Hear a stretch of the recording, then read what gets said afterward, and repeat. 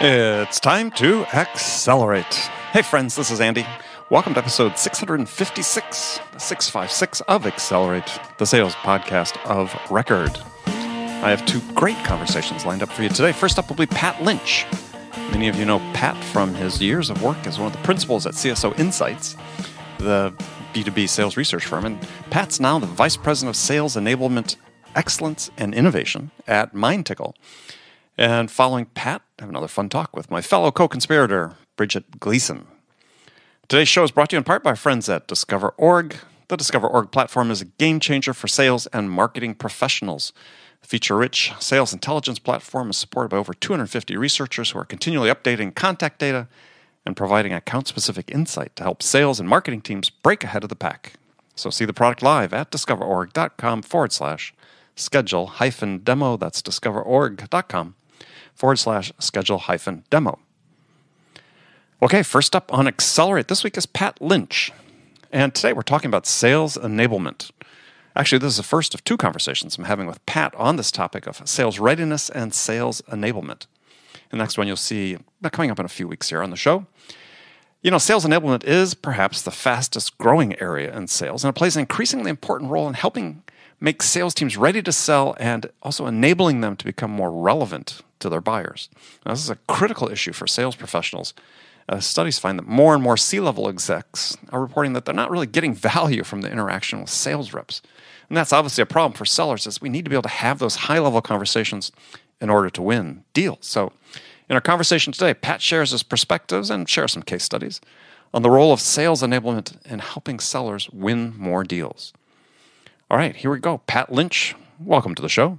Thanks very much, Andy. Greetings from San Francisco. Oh, you are in San Francisco today. Great. Yeah. From Denver, but in San Francisco. In today. San Francisco. Okay. So, um, standard question I, I ask all my guests when they come on. The first question is: So, in your mind, what's what's the single biggest challenge facing sales reps today? I would say that the biggest challenge facing sales reps today is the lack of effective and good coaching they're receiving. Okay. I I would agree in, in large measure with that. so is that different? I mean, I think back to early in my career, and you can look back early in your career in sales. I I have all these memories of lots of good coaching. Uh, in fact, yeah, mentors I can specifically point to that were yeah largely responsible for helping me develop as the way I developed. I mean, this what's changed? Well, um, the, you were very fortunate, Andy. Very fortunate. Um, you know, the research I, I, from several different resources, I think talks around 25 to 36 minutes a week uh, that a sales manager is providing coaching. Mm. Uh, not sure what that means, and, and doesn't say good coaching to a rep. And I'm I'm always fascinated by that because um, if you've ever played a, a sport, a team sport, mm. you just I mean, other than flag football, maybe growing up as a kid or something, uh, and uh, let's just take high school, right? It's not like five guys just showed up uh, some Friday night to play another team. Right. They, they were coached and they ran plays. So, what I find fascinating is let's fast forward to real life. Got to make a paycheck, uh, a profession. Mm-hmm. And it's like um, people are showing up Friday night and, you know, pick a ball, but they're responsible to, to actually win, hit a number. Right. There, there's almost very very little coaching going on. So um, I, I call I call it a plague in the sales profession today. Well, I agree, and I, I so I was at a Topo summit a couple years ago, and there was a panelist who shall remain nameless who said, somewhat disparagingly, eh, "We don't do one-on-ones anymore; they're a waste of time." okay. It was a VP, a VP from a SaaS company. Okay and I, I, was, I started the same reaction you did. It was just sort of stunned silence. It's like, okay, it's like, and I can understand that if if they're one on ones, and it sounded like from what he's talking about, he treated his one on ones as basically a deal review, and and and it's, it's gotten so bad in some conversations when I talk to VPs, again, especially from tech companies, but you're seeing in others now too, is is to say, well, maybe we need to redefine everything and say, look, we've got managing, coaching we'll say, yeah, that's just tactical, right? And then we have mentoring, which is developing the individual. And maybe we need to change our paradigm. So instead we think about coaching and the people not really knowing what it is, we get more specific and say, okay, we've got managing, you know, you're organizing, directing activities. You got coaching, which is, hey, we're going to talk about this deal and what you need to do to get it closed. And then we're going to talk about mentoring is let's talk about, hey, what what do you think you need to do to get better and how can I help you? Right. Yeah, uh, the reason I, I, I believe strongly that it's a plague that's um, affecting our profession um, is because you know, let's just look at the data and research for a moment. Mm-hmm. Okay, um, like my wife says, you can't see the picture when you're in the frame. Um, right. And so it helps to bring some objectivity. And so if we just look at, uh, I'm a big believer in Stephen Covey's Seven Habits mm-hmm. um, of Highly Successful People. Begin with the end in mind. Right. So if you're in sales, your end in mind is to win, to close the deal, right? And then you work backwards. What I'm stunned by, and I'm and I'm not being sensational with these adjectives, is if again back to CSO mm-hmm. Insights you mentioned earlier in the program, I would say one of the most powerful and compelling data points I've ever seen in research of all the different research is the fact that if you move, uh, and this according to CSO Insights, move from an ad hoc uh, sales coaching program to a formal sales coaching program, you can get a lift in win rates already in your forecast. Mm-hmm. Uh, I think you know around 11 to 13 percent increase right. in win rates. Right. So I remember uh, asking sales leaders, um, and I still do today, if you're not focused on some type of formal sales coaching process, knowing that the upside is so huge, what are you doing?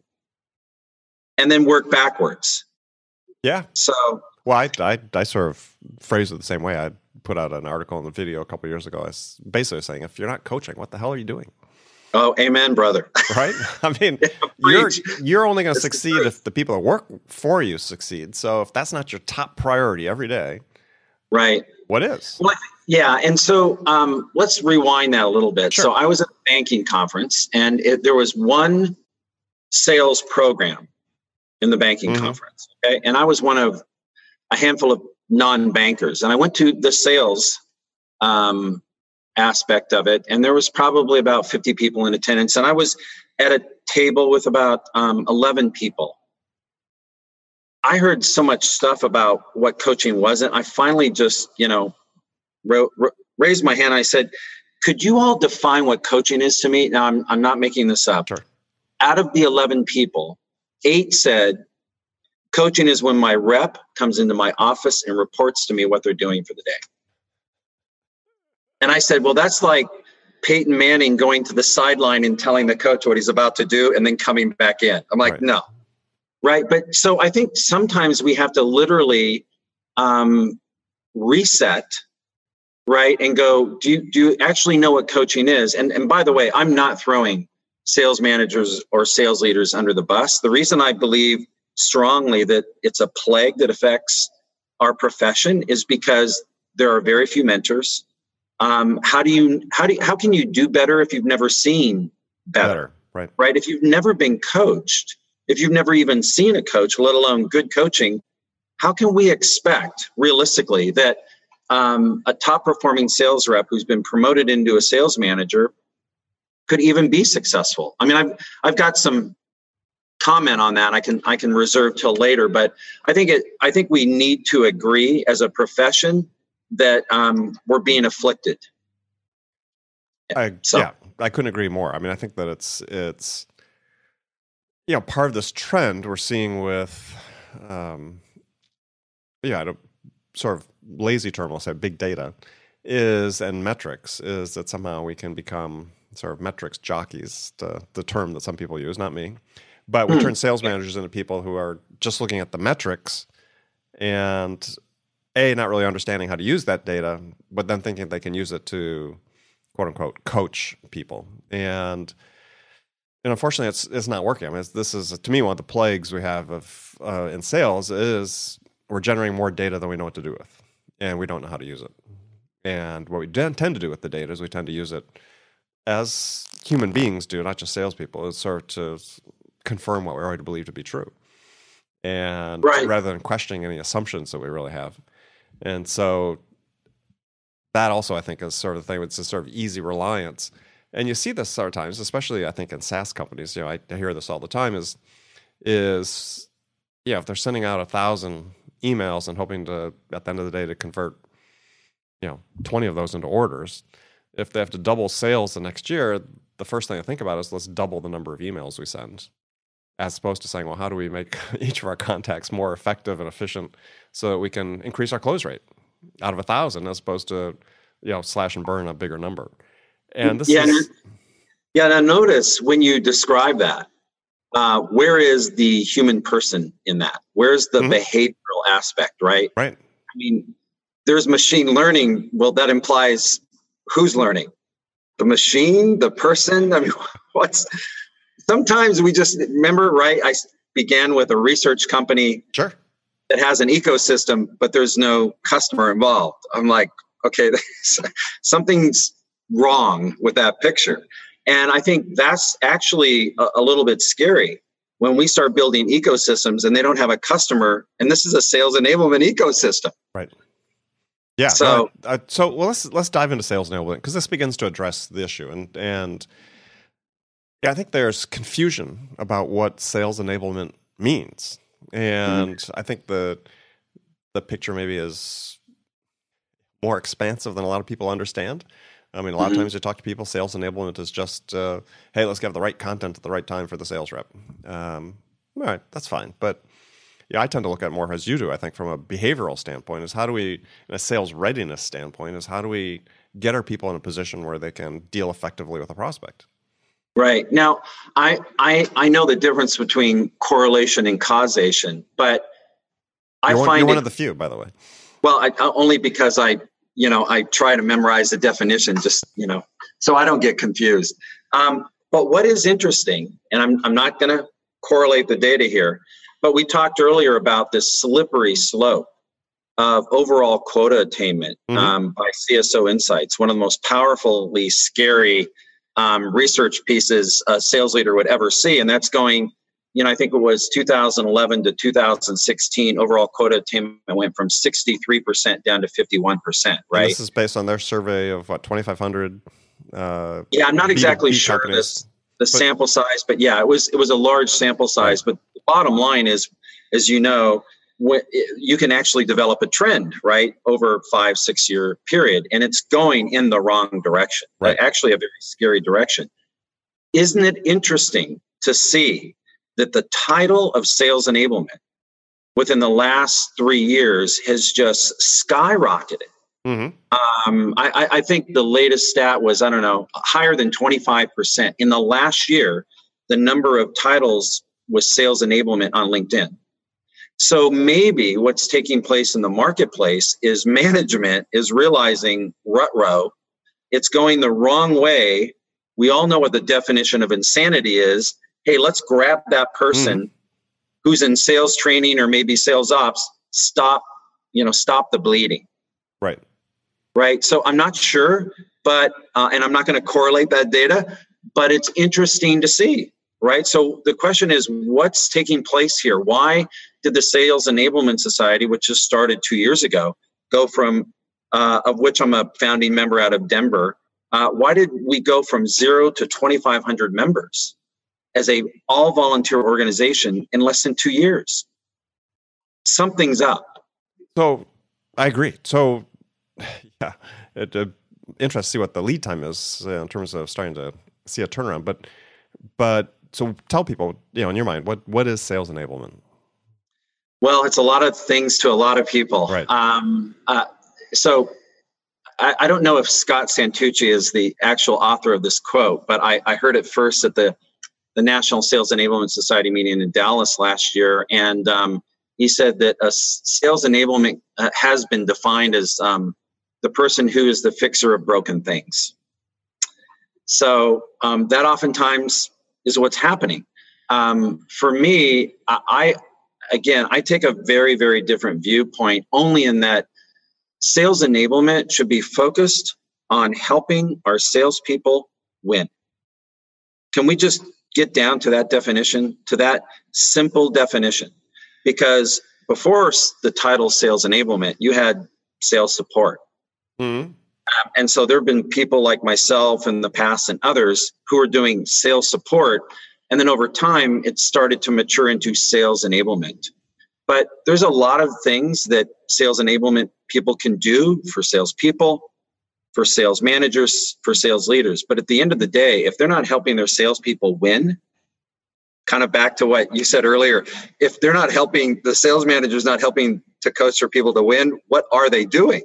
Well, right. Think, so I think that's a question so, that, that many managers will sort of come up with, or CEOs listening to this conversation, saying, "Well, okay, if your job is to help sales win, isn't that my VP of sales job?"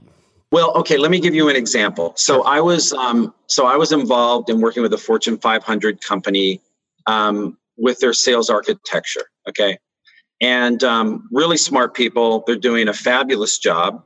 Uh, what was interesting is HR um, got involved on a global scale. Hmm. Now, what was very interesting in that time frame of probably two three months, I was listening for as the architecture was being built in sales enablement. How are you going to help your salespeople win? It never came up. It it never came up. It was about training the salespeople, uh, rarely coaching, but but a lot of training and and content and sales process. I mean, really important things, very mm-hmm. good things. But how come if you're designing this infrastructure, you don't begin with the end in mind? Right. I, am just asking the question. And they said, exactly. It's right. Well, I think that I think that is one of the dangers. I think on one hand, with with um, I think we've seen a little bit with sort of the increased specialization within sales, and I believe me, I, I think sales enablement is a very important function because clearly something's not not occurring that should be occurring in terms of helping our people, putting our people in position to win. Um, but yeah, I think people get it's part of the I think the after effect of the or one of the effects of this hyper specialization of roles is that people are just so focused on just what they do and in a very sort of micro sense. And we don't tie the whole piece together. That no, starts we, with we, the customer and correct. and I, I make i make the same comment because i've you know this this podcast you know, i've done well over 650 episodes and i've probably interviewed 150 to 200 you know SaaS company founders or or uh, uh, you know VPs or something, and you know the one question they have struggled to answer is, well, okay, how does your they talk about the process and so on so great you got your process and your support these tools but how does this help the customer make a decision to buy from you? Yeah uh, that is a great point right? So again I'm, I'm i'm not being sensational but it's a little scary when a research firm puts a, a sales enablement ecosystem together and leaves out the customer. Mm-hmm. Right? So, um, uh, anytime you build the sales process, if you have one, by the way, right? A lot of companies have sales methodologies, but right. the, the hard work is building that foundation. Uh, you know, if you can begin to build the foundation of sales process, the next step, okay, before the framing of the home mm. goes in, you've got the concrete foundation. Can we please agree that there's a customer out there and that we might want to think about mapping our sales process to their buying process. We just might want to think about that. Um, I've, I've worked with a lot of companies who do, in fact, have a sales process and they have these really nice sales stages and sales playbooks. And the scary thing, I probably need to come up with a better word, Andy. You've only used it about five times, but yeah, we... yeah, um, uh, is the fact that there is no uh, customer buying process. Well, I think so that's not one of the challenges. I think for sales enablement is that. See, I think I think the customer buying process, for the most part, is a fiction. In that the sense that, you know, you look at most products that that we're selling these days, especially for you know selling a complex product of any sort. You know, the customer, you know, buys this once every five years. They don't have a documented process for something they do once every five years, and so, so I think when we talk about just the point you made before is we get so rigid with our processes, our stages, our stage exit criteria, da da da da da, because we're trying to map it to something that occurs once every five years. And and so it, I think to me one of the, the things about getting people sales ready is is sort of this not just training, not just situational training. You know, I sort of use three three R's. You know, uh, readiness, relevance, and risk. Is we have to be able to teach people how to be adaptable and take risks in order to move deals forward, right? That aren't within the narrow constraints of the process you've laid out. To me, the top performers in life that I've always worked with and I've seen myself I've done myself is is yeah, I think I have an idea of what I think the buyer's process is, but I know it's not necessarily going to conform to that. So what do I do when reality hits hits my process? And that's where the rubber meets the road in many cases is salespeople don't know how to adapt because we're training them that you've got this rigid set of stages and these exit criteria and playbooks. It's like, well, that's great. I love that. But life doesn't conform to that. So what do you do at that point? Yeah. So um, I, will tell you a little story on that. Okay. All right. So once upon a time, I was working for a large company, and um, the vice president of sales said, um, "We're going to be nimble." and I thought, "Nope, uh, we're a really big company. We can never be nimble." Uh, I think I was the only um, person hired from outside the company um, out of the 130 division managers. And so I said, um, uh, we'll never be nimble. Well, I think his face started to get kind of red. Yeah. Um, and I thought, okay, the next thing out of my mouth better be good because it'll save my job, I hope. and so um, I, I asked everybody, I said, has anybody been on an aircraft carrier? And fortunately, nobody had been on an aircraft carrier. And I said, okay, uh, will an aircraft carrier ever be nimble? Well, no. Okay, we're never going to be nimble. However, what's on an aircraft carrier that's nimble? An F 18 mm. fighter.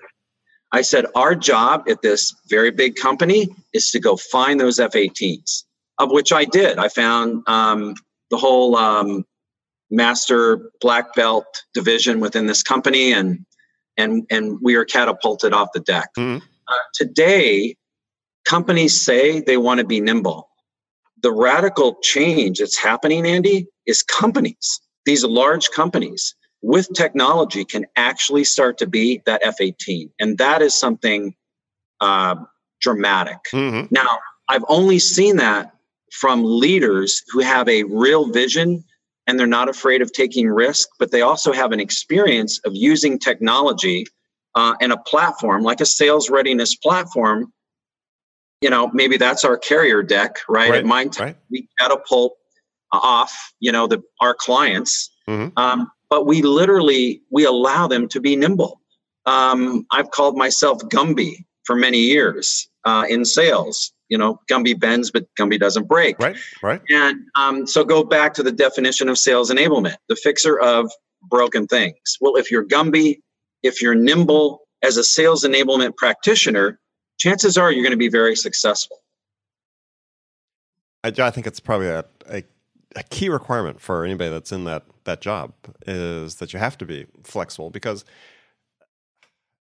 yeah, as I mentioned before, it's just one of the things I always find so curious is and maybe it's just a sign of of you know when I developed my own sales career, we didn't have these technologies, but you know if I spent 15 years selling complex multi-million dollar communication systems for startups to the major mm. corporations of the world, and so we had no track record, no branding, you know, no, no technology. You know, I'd, I'd, fly to Europe to cold call. I mean, it's that type of thing.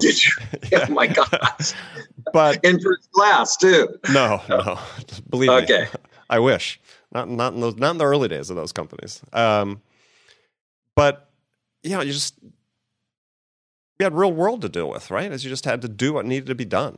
And, and I, I'm concerned. You talk things that are scary. What I see as scary is is that again we we seem to be. It's sort of interesting, especially since a lot of this a lot of the leading edge stuff emanates out of our tech tech you know segments in terms of sales, use of technology and it's now starting to proliferate outside of that. But I find it really sort of interesting that in industries that are companies are devoted to disrupting the markets they're going into, are adopting increasingly rigid sales processes, and and we're not preparing people to be adaptable and to take the risks they need to take in the moment in order to move deals forward.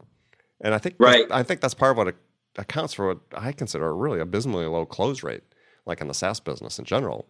You know, 20% mm-hmm. close rate, and they pat themselves on the back. And I'm thinking back when I was selling 20%, I was out of work. Correct. So right. they make it up by numbers, though. This is where we get to the volume and the quality, quantity versus quality right. dilemma. Because some companies, if they're especially sort of the lucky ones that have really identified the product market fit and they're riding the wave, mm. that number quantity business works for a while. All right, covers a lot of sins. Eventually, right, right. eventually you pay the piper. Right. So you can uh, carpet bomb people with email, um, or you could be strategic. You could have a, a, drip campaign that actually is dripping value. I mean, real mm-hmm. value. Right. Uh, why don't more companies do that? It takes time, and especially if you're a SaaS company, um, you know the clock is always ticking. Uh, tick tock, tick tock. But again, I'm I'm just I believe um, my responsibility is to oftentimes help not only here at MindTickle but in the marketplace. Let's just pause between the stimulus and the response. Let's just pause for a moment. And so the reason I, I, I say let's pause, I'm speaking out of the eye, is because the very first class I ever took, training course in sales, I'll never forget it um, the instructor said, I, I want to give you an equation. I'm thinking, okay, this is sales. I'm not real good at math. Um, he said, no. He, he goes, you'll use this. Trust plus empathy equals relationship. I can I can tell you that over the when I learned that 24 years ago, I've used that equation more in the last two years than in the 22 years before that. Question is why? Because as we move rapidly using technology, the human starts to get left behind little by little by little to the point where we're not even putting customers in a sales enablement ecosystem. Um, or we're, we're mapping a sales process and we spent a lot of money on this and we've got some great playbooks, but we have no idea how our customer buys. Clearly, maybe we need to pause between all this stimulus, right, and our rapid response. So if I can help just bring a little bit of sanity and and also a genuine voice of the customer as in we have a customer or or we have a prospect let's not forget them right in all the rah rah then then maybe we can be more successful. You know there's a mike Esterday he's the ceo of integrity solutions. When i first met him um, he said well you know pat sales is a noble profession i'd never heard that before I've never heard that since. And I loved that statement by Mike. And I'm like, you know what? Sales not can be a noble profession, sales is a noble profession. And so, again, begin with the end in mind. If you can start with sales is a noble profession, then look back and go, is everything we're doing, are we making it a truly noble profession? Well, and I think that the the key to making it a noble profession is the customer experience during their buying process.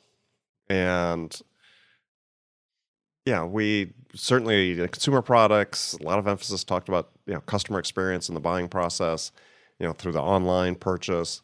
Not nearly enough in B2B sales do we talk about the customer experience throughout the buying process. Yeah, we'll talk about it in customer success and and so on. But this is, to my mind and my experience, and this is, yeah, I don't think is, is you know, an outlandish thing to say is, is people don't give enough credence to the percentage of the customer decision that's based on their experience going through the buying process with you. Right. So let's let's take a look at that and, and ask ourselves why is that happening? Right? Who who's kind of at fault there? All right. So um, I'll take some of the blame. Okay. Um, in that, for example, um, how are we training? You know, it's kind of like, what are we teaching our kids in school, right? Mm-hmm. but what are, what, not not how we're training for a moment, but what are we teaching our sellers? What mm-hmm. are we? How are we teaching them? But what are we teaching them? Right. Okay.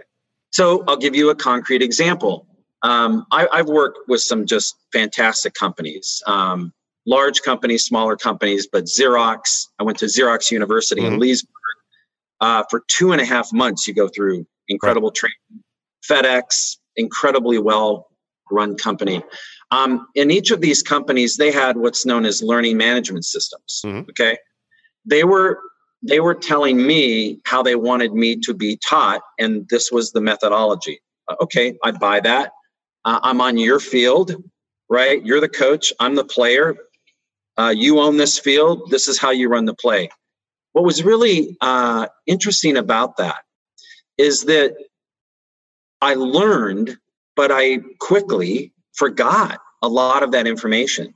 And I would have to go back to the LMS to remember something right. or, you know, how to do something. Uh, that's not helping me sell. That's not helping my team sell. And so let's go back to that team sport, right? When you're actually playing the sport, do you just like stop in midfield and go, oh, I got to go to the LMS? oh, oh, I got it. Okay. Freeze time. Okay, everybody, let's proceed Coach, with the play. What am I supposed to be doing? Right. Exactly. And but that's what we're asking our sellers to do day in and day out with and and, and no offense to an LMS. Okay. I, I I call them if if you're looking at an LMS for salespeople, I call that a legacy management system. Right. Okay. It it's not helped me make one dime.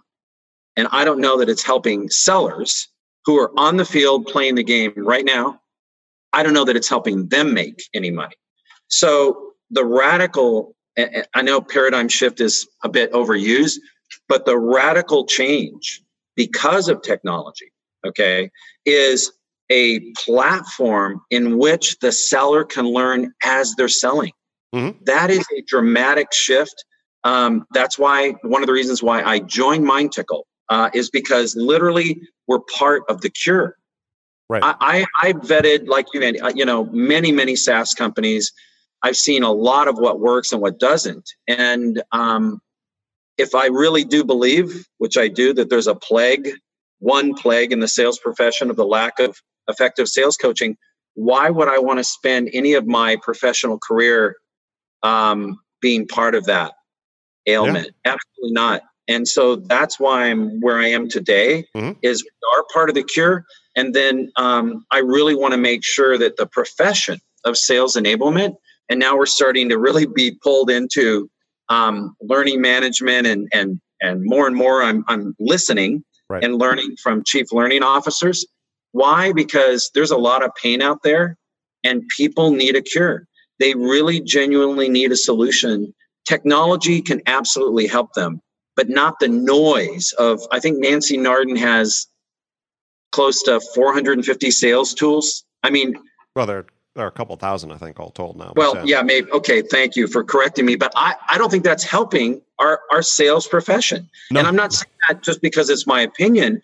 I'm literally saying that because many of my peers in sales enablement, when I was at CSO Insights and since I've been at MindTickle, have come to me saying, Pat, uh, I don't have, I know technology is passing me by.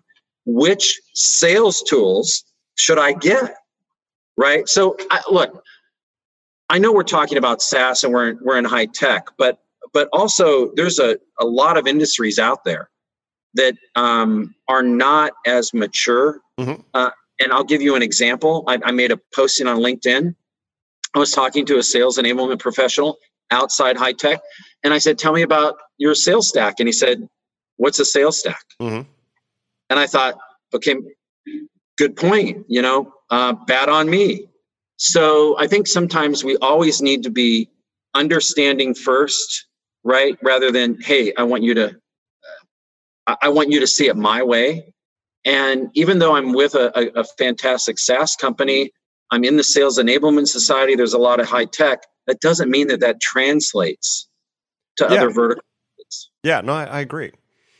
Well, I think one of the the new perspectives, at least from my from my perspective, not being too redundant, is that the sales profession needs to adopt is I mean, I love this idea of sales readiness. I mean, I think that this puts a stake in the ground for uh, starting to measure proficiency in a way that that's really important, right? And rather than just sort of, hey, bring everybody in for a, a day and we're going to, you know, bring in Andy Paul and he's going to talk to him. And then, you know, I disappear. And as you said, three days later, everybody's forgotten that is that you have a sort of ongoing way to measure people's readiness to sell to the customers that you're serving. And we'll sort of call that proficiency. But I think the other thing you brought up earlier, which is to me is extremely important, that not enough attention is given to, is this concept I call relevance. You know, I think that if people, salespeople, thought about, am I relevant to my buyers? That it puts a whole different spin on it for them to say, okay, we've got all this technological change we referenced before, AI, machine learning, you know, that's that's changing the equation on both selling and buying side. Is how do I maintain my relevance to the customer? And and I think that really to me it becomes the distinguishing characteristic between those who get the business and those who don't is you're demonstrating your relevance. And you know, that obviously has lots of components to it, you know, business acumen, experience, proficiency in certain ways, relationship building, being a human, as you prefaced our conversation with to start with how valuable that is. I think it's becoming more valuable. Um, I, I think that's just something we need to spend more time focusing on, and and it's it's hard to measure. I've been thinking about how we actually measure relevance, but but I think but I think but part of it is a mindset too, is saying, look, I'm, I'm going to put some of the onus on you as an individual, as a salesperson. We can do so much for you, and we need to do more, obviously, but also there's a part that only the, the individual need will be able to come up with too that says, what are, what are my customers really looking for from me? Well, I'm not going to disagree with you, Andy, okay, on the relevance part, but let's go back for a moment on what about a sales manager or sales leader saying, um, you need to be relevant and I'm going to help you be more relevant. Well, right? That's that'd be fantastic. Well, it would be, but you know, the question is why is not that happening? Uh, don't know the answer. So I think we we need to put the onus on the salesperson. Absolutely, it's it's a it's a noble profession. They've chosen that profession, but let's let's not leave out the sales manager or sales leader. So, um, well, I think, and I'll, I'll give you, I'll give an answer of that before we go because okay, we have to wrap up yeah. in a second. But yeah, I'll, I'll give you a few, words. I mean, Xerox, IBM, you know, I started Burroughs. These were companies that trained. You know, we had an ecosystem of yes. companies, especially in the tech, leading edge tech companies, leading edge at the time. That, as you said, you spent two and a half months at at uh, you know, in Leesburg, we had Xerox University. I spent, I don't know, 10 or 12 weeks, my first year and a half at, with Burroughs and training. I mean, mm-hmm. think about that. What tech company do we know that within the first year and a half, people are spending 10 to 12 weeks offsite yeah. learning their job and their profession? Yeah. And yeah. It wasn't perfect training by any stretch of imagination, but it was this basis. And, and what's what we don't have now, and I think this is what is one of the complicating issues, is – we have to learn how to compensate for the lack of this these mm-hmm. days because even our big tech companies at least to my knowledge aren't requiring people to spend that much time learning their jobs right so getting so back to sales readiness for mm-hmm. a moment right I, I i'm glad you brought up the salesperson needs to be relevant um, if you're not relevant uh, are you sales ready so just a, sure. a quick story on that uh, so I was calling on a hospital, a very large hospital, and this is the time when pharma reps could just come and go in a right. hospital. So um, we closed this hospital and then a healthcare system, and um, the economic buyer um, went to a regional sales conference, and he was the keynote. So I had him in the car. So I asked him one question. I said, um, "Why? Why did? Why did you take my call?" you know, why did you do business with me, you know, with us? Mm-hmm. And he said, you know what? He goes, I've been thinking about that. Like, how did you get through? Because he told me that, I'm not kidding, he got 70 reps a day calling on him. Wow. Yeah, exactly. Exhausting, right? Well, yeah. And he said, you know, but when you called, which wasn't a lot, you gave me something of value. That yeah, that's what I remember.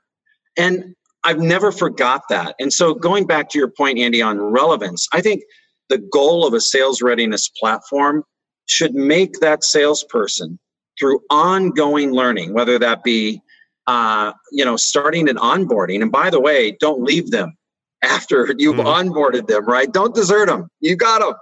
Um, whether that be through gamification, micro learning, other types of training, analytics, you know, all of that, right? Help them really create and internalize that value, that relevancy. Right. So that ongoing training constantly reinforces the value and the relevancy that you can bring to a customer or prospect. I don't care what you're selling, you're probably going to be very good at it and very successful. Excellent. All right, Pat, we're going to have to have you back pretty soon because we just didn't even touch what I had prepared to talk about today. but it was a great conversation. It was a great conversation, though, and a lot of value for well, people. I hope, I hope it was uh, beneficial for others. I know you and I had a good time. No, I'm, I'm sure it absolutely is, and that's why we just need to have you back on and continue it. So, um, yeah, well, so just tell people a little bit quickly about MindTickle before we go, and and uh, I know we're going to do another session later on about MindTickle too. So, tell us a little bit sure. about MindTickle. Yeah, so I would just say, um, which many people don't know, MindTickle was formed by four engineers from India who had never sold a, a thing in their life. I'm like, okay, uh, tell me more. And um, they saw a problem in sales and they said, let's go solve that. So I, I love the fact that MindTickle, and not many people know this, is actually an engineering company we have many engineers at MindTickle, and we have our culture is actually based on there's a problem, let's go solve it. Mm-hmm. I, I, right out of college, I worked in aerospace engineering. I love working with engineers because of that mentality. So everything we do at MindTickle with our platform, it's not a tool. Uh, you can probably take five tools and that's our platform out of the box from a sales readiness mm-hmm. standpoint, whether that be onboarding, training, gamification, micro learning uh, for SKOs, all bundled with analytics. Um, it's bringing that objectivity I talked about earlier because when you're in the frame, you can't see the picture, right? right? So MindTickle really does bring a lot of objectivity for sales managers to actually begin the process of coaching with objective data, et cetera. Mm-hmm. Um, at MindTickle, that culture, that mindset of there's a problem, we need to solve for it, doesn't just apply to prospects. Oh my gosh, once uh, you're a customer at MindTickle, it's constantly ongoing. So the fun part for me is I'm I'm learning from our product team all the time about what we're doing, and I go, well, who at, who asked you to do that? and this and and the director of our product engineering, he just looked at me like, well, no one. We we just heard that's a problem. We're going to go fix that what a great mentality, what a great attitude to be a part of. Right. So that's a little bit about MindTickle. All right. Well, you guys can check it out at mindtickle.com. And I said we're going to have another uh, conversation coming up. We'll talk more about that. But Pat, it was a pleasure. And I said we'll have to have you back on the show soon. Thanks, Andy. It's an honor to be here. Thank right. you. Talk to you soon. Thank you, Pat. Again, that was Pat Lynch, VP of Sales Enablement, Excellence, and Innovation at MindTickle. As mentioned before, Pat will be back on Accelerate in the next few weeks to talk more about sales readiness and sales enablement. Up next, it's time for another back and forth with my fantastic co host, Bridget Gleason. Yeah, I'm still getting acclimated to the idea that I'm talking with her on Wednesday instead of Fridays because we did that Friday gig over 330 times. 130 times over the course of two and a half years. So today, Bridget and I are going to tackle the topic of how sales leaders should work with and coach their sales reps to help them move out of their comfort zones you know, for sales reps to take their careers to the next level, whether that's working bigger deals or working bigger customers or positioning themselves for promotion, it requires they take risks and proactively evolve how they sell. Now, this can be a difficult step for many to take and often requires coaching and support from a manager to make it happen. So, what can you be doing as a sales leader to help your sellers move out of their comfort zones? Well, let's jump into it with Bridget. Bridget, how are you doing? Andy, Andy, Andy. I'm doing super. Wonderful. Oh, excellent. What about you? Where are you? I am in New York as I record this on the nice eastern edges of the zero time selling and accelerate empire. And um, yeah, just like you enjoying the last blast of winter here. It's recording this in early April. We had snow already in April. It's like, geez that we Louise. did. That we did. Goodness gracious. Crazy, huh? Yeah, it melted almost instantly though, so that was fine. But nonetheless, it served to get the weather forecasters all bent out of shape. They named had another storm to name because heaven forbid we get a weather system they don't name these days. I know. What is that about? I don't know, What trying- that about? Try not to hurt their feelings, I guess. I don't know. Storms can be sensitive. I must be. so um I saw a great sales related cartoon in the New Yorker. Actually, it was New Yorker online, but um, Yeah. and it was two guys talking, and and one guy turns to the other, and the caption is, "That reminds me of the thing I was going to say next, regardless." I thought, perfect sales cartoon. That reminds me of the thing I was going to say next, regardless. Yes, our overscripted, overscripted sales reps. I love that. I don't care what you tell me. This is what I'm going to say to you back. So Exactly. Yeah, this is the answer. this is the answer, right? So actually, it sort of ties into the topic we're going to talk uh, about today, which was comfort zones, right? Part of the reason people do those things is, is they're trying to stay in their comfort zones. You know, don't don't ask me something I don't know anything about or not prepared to talk about. And but I thought, and there's been a lot written about it. And I had a a great talk with a guest recently on the show, uh, a professor from uh, Brandeis, I believe, uh, Andy Molinsky. Uh, we talked about uh, his new book on how to break out of your comfort zones, how to break your your comfort addictions. And I thought, well, yeah, that's a really interesting topic because we always talk about from the individual perspective. I just wondered, sort of perspective of sales managers, is how do you help people break out of these comfort zones, right? When they get into this this zone, they're just doing the things they feel comfortable with. They're not pushing themselves. They're not really doing what they need to do to get out there and and either make calls or have the type of uh, hard discussions with with prospects and customers to move deals forward. Yeah, I was going to. I was just as you were talking, I was thinking about. All right, with my own team, what are the comfort zones? I, I guess it's easier for me to think about what are what are some common uh, sort of traps or like where do they get stuck? Where are common places that sales reps get stuck that we want them to to get out of that particular comfort zone? Or where do they hide? or where do they hide yeah that's yeah yeah maybe they're not yeah they're hiding in a certain place that's an, that's a great way to, to to think about it also Yeah, you can you have these activity reports, and even in there, you can see where the reps are not, you know, just not putting themselves out there the way they need to. And yeah, I remember working with one rep years and years ago that, you know, it's like the activity report was almost perfect, but there was just that one thing. It's like, yeah, are you really making the calls or not? And yeah, you really pushed him to shove. Really wasn't making the calls. I mean, he made a certain type of calls, but he wouldn't make the ones like the existing customers, but and maybe the prospects he had met, but the things that were just completely cold. Oh, it was just the hardest time getting him to take that step forward.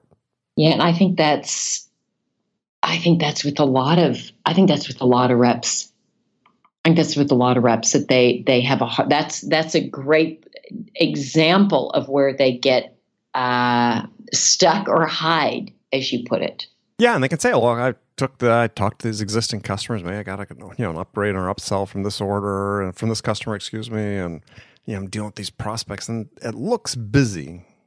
I think this is one of the real challenges for sales managers is to sort of distinguish between what looks sort of busy versus that that really is real productive activity. And when you sort of have that, that's why I think people are sort of stuck in their comfort zones. And so then, the, then I guess back to your question: How do you help people get out of it? Well, I'm interviewing you today, if you, in case you hadn't noticed. I just, I just, I didn't intend it, but it just, just. But here we are. Just jumped out. happening. Just Seems to jumped out. happening. Yes, I can't help it. I'm bossy by nature. I think that's the subtitle of your book, isn't it? I'm bossy by nature. Yeah, yeah. That would be no surprise. There'd be no surprises. Anybody who knew me would be like, "Yeah, we already knew that. I don't need to read the book."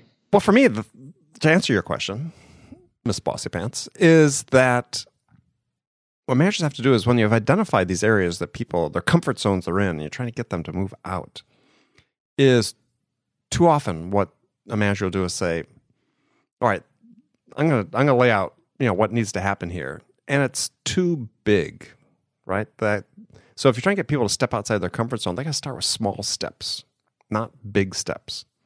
And so you want to give people small successes that they can build on that you know start luring them further and further.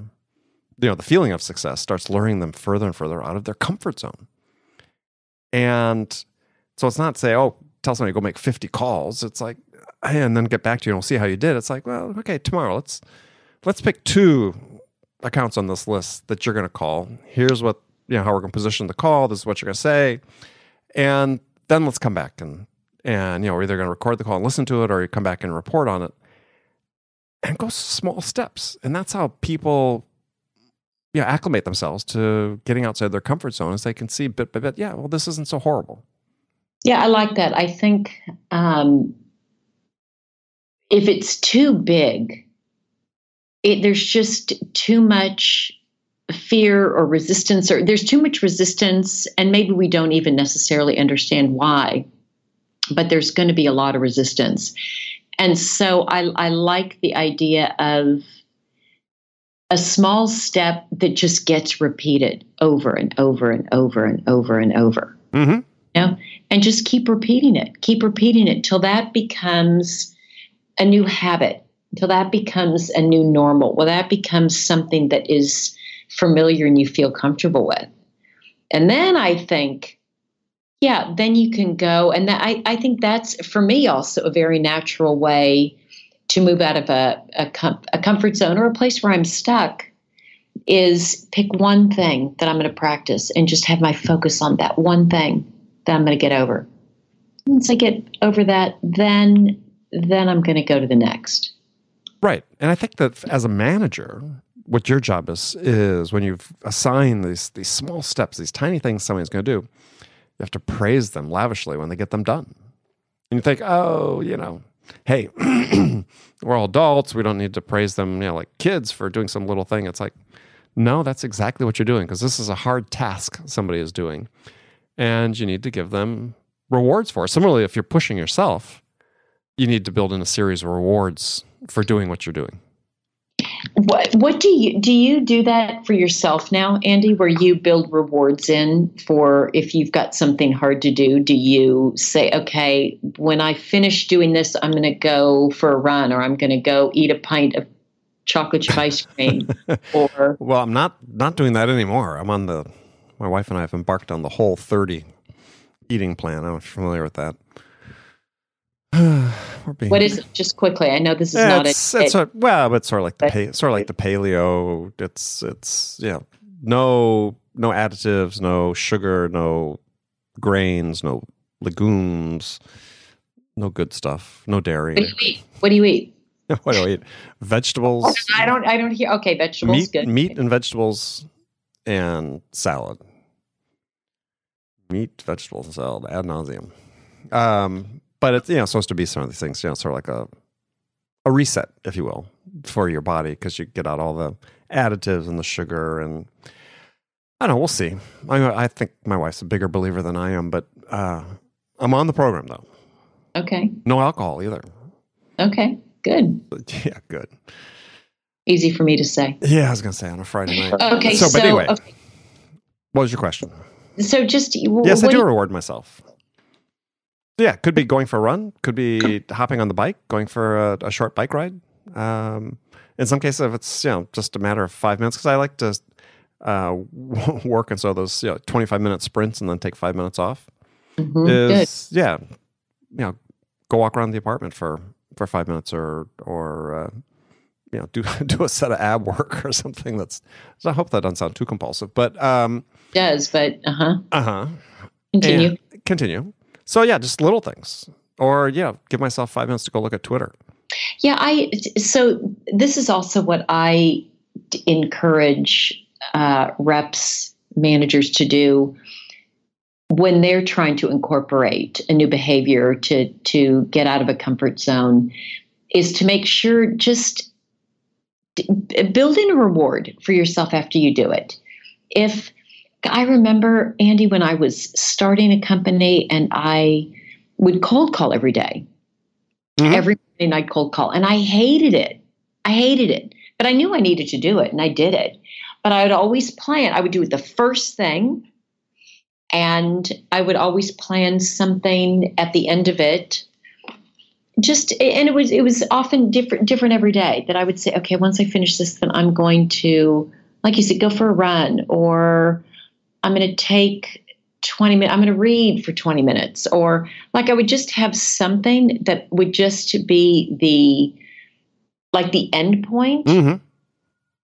As well as a just a little psychological reminder, you know, I, I, I do the hard things, and I do things I don't always like to do, but and I I give myself a pat on the back or just a good, glad you did it. Now let's keep going. So I think that's an important I think that's important to include in there when you're encouraging people to learn to do something new.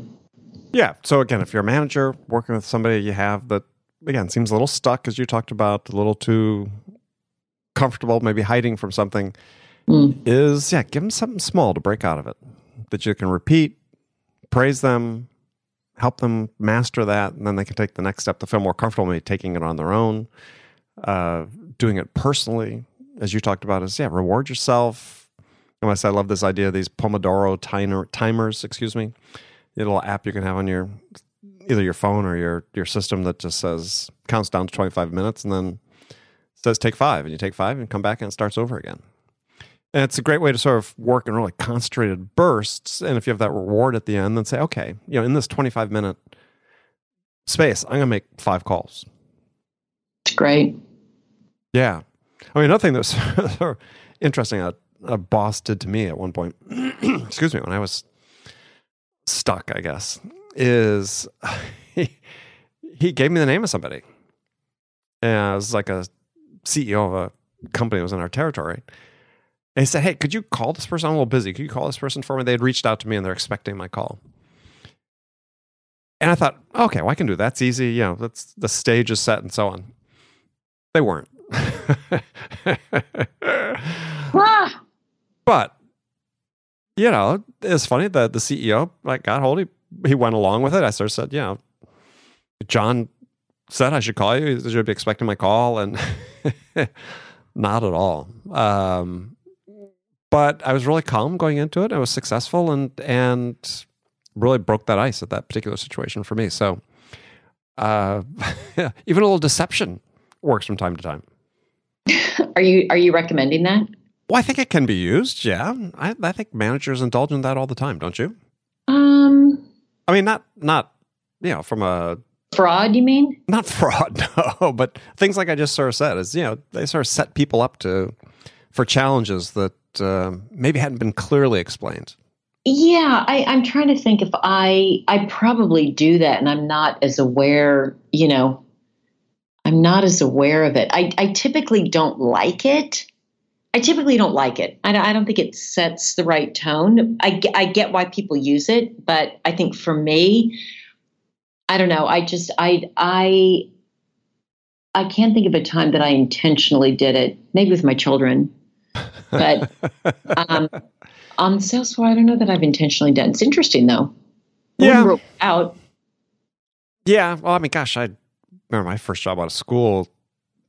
You know, being sent on to call on prospects all the time with there was always some ulterior motive behind behind it. Uh, yeah, one time being sent to a customer, the managers knew that that the customer was not happy. I had no idea. And of course, I came back with an order, which was great. They weren't expecting that. That's always good. They weren't expecting that part. So I disarmed the customer by being a new, fresh face. So, um, hmm. yeah. All right. So, comfort zones. Everybody has them. We all have them. You're going to break out of them. Start small, like everything, a new challenge. Break it down in small pieces. As Bridget said, repeat, repeat, repeat, repeat. Master it, then take that next step. Simple. Sounds so simple. It does sound so simple. Doesn't it sound so simple? It does. All right. Well, Bridget. Andy. As always. Until next time. Until next time, we'll we'll talk to you next week. All right. Have a great week. Okay, friends, that was Accelerate for this week. First of all, I want to thank you for joining me, and I want to thank my guest, Pat Lynch, and my partner in crime, Bridget Gleason. Join me again next week as I welcome Doug Sandler to Accelerate, actually coming back for a second time. Doug is an author, speaker, podcaster, author of the interesting book titled Nice Guys Finish First, and host of the Nice Guys on Business podcast. And of course, as always, I'll be joined by Bridget for our weekly conversation, so be sure to join me then. Thanks again to our sponsor, DiscoverOrg, for their ongoing support of Accelerate. And thank you again for joining me. Until next week, good selling, everyone.